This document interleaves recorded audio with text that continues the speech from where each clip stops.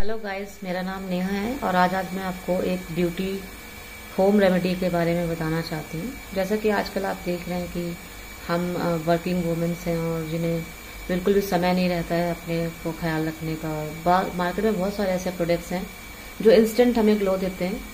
But कुछ ही time तक वो चीज़ें रहती हैं।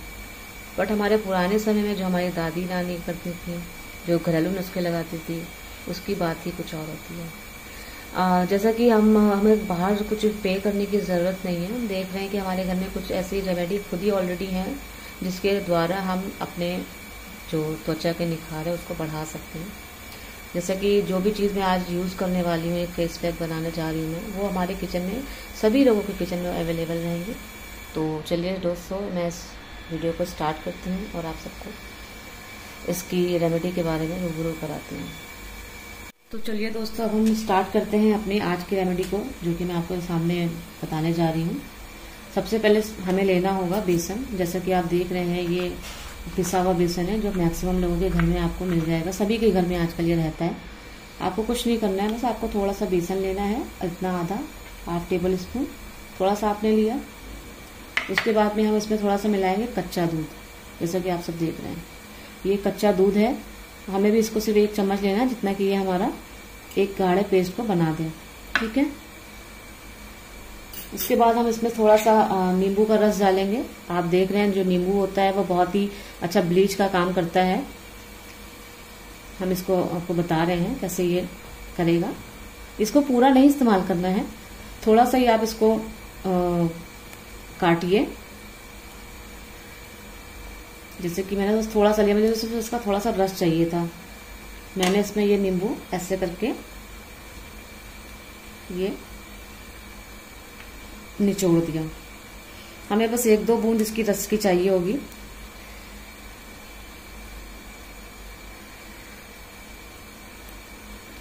ये हमने एक दो बूंद इसमें रस जो था, वो मिला दिया ठीक है?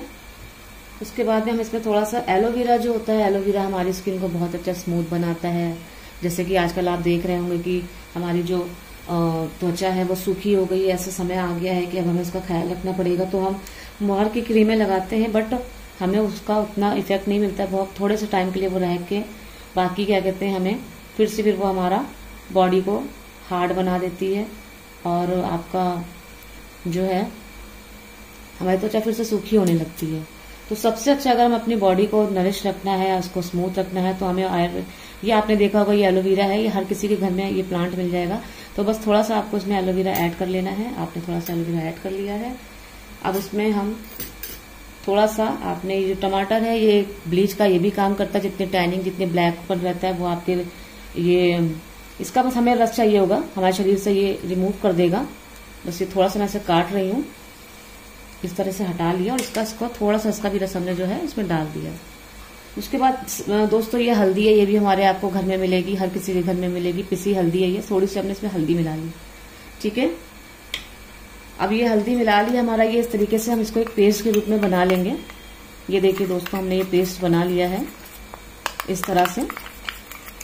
एलोवेरा को आप मैश कर सकते हैं इसके अंदर। अगर आप मैश नहीं होता है तो आप इसको मिक्सी में पीस लें और इसमें एज अ लिक्विड इसको मिला दें। ठीक है दोस्तों, ये आप देख रहे हैं कि किस तरीके से ये एक पेस्ट के रूप में बन गया है। हल्दी जो होती है, वो हमारी त्वचा में निखार लाने के लिए होती है। ये बहुत ही अच्छा एक प्रोडक्ट है जो कि हमारी त्वचा को इंस्टेंट गोरा बना देता है। अब दोस्तों, इसको इस्तेमाल कैसे करना है? आपको कुछ नहीं करना है। आपको थोड़ा सा इस तरीके से लेना है और अपनी बॉडी पे इस तरह से ऐसे ऐसे लगाना है।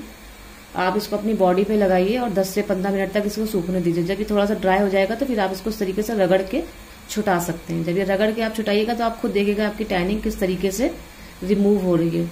आपको अच्छे रिज़ल्ट अगर चाहिए तो हफ़्ते में आप इसे तीन बार लगाइए। जैसा कि आप देख रहे हैं कि इस समय जो समय चल रहा है विंटर चल रहा है, उसके अंदर हमारी बॉडी बहुत खराब हो जाती है। तो उसके लिहाज से देखते हुए मैंने ये वीडियो बनाया है, और अगर आप इसे लगाते हैं हफ़्ते में तीन बार तो ये आपको बहुत अच्छा रिज़ल्ट देगा। ठीक है दोस्तों, नमस्कार। जैसा कि मैंने ये आपके लिए वीडियो लेके आई थी, अगर आपको ये पसंद आता है तो प्लीज़ शेयर एंड लाइक करिएगा सब्सक्राइब करिएगा। इसी तरीके से मैं जब भी आपके लिए कोई अच्छा वीडियो लेके आऊँगी तो आपको वो मिल जाएगा। ओके दोस्तों बाय